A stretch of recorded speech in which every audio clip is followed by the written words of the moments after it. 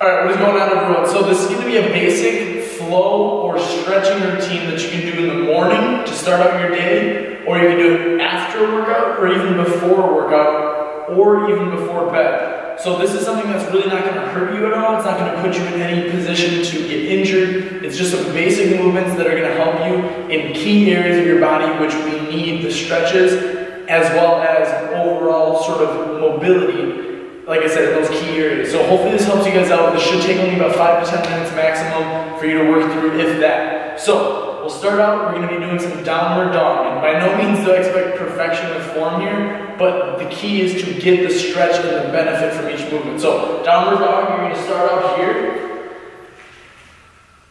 Hips high. You're gonna wanna push your weight back into those heels here, so sinking back. And I'm trying to keep my legs as straight as I can. So you should feel a stretch through the hamstrings and into the glutes. And then as you push your heel back, I like to say kind of pedal your heel back one at a time. Keeping your back straight, head down. You're going to get a stretch through those calves. So this is a good one for those hamstrings, which tend to be tight on a lot of people pushing back here. And then we're going to come all the way down to our stomach, relaxing, pointing my toes, and you're going to come up, Roll those shoulders back. And if you need to, you can always come down here, make it a little bit less strenuous, or you can always walk your hands out a little bit. But throwing those shoulders back, and rotating back a little bit. And then from there, you're going to walk your hands and widen your feet back out into child's pose, keeping those arms straight.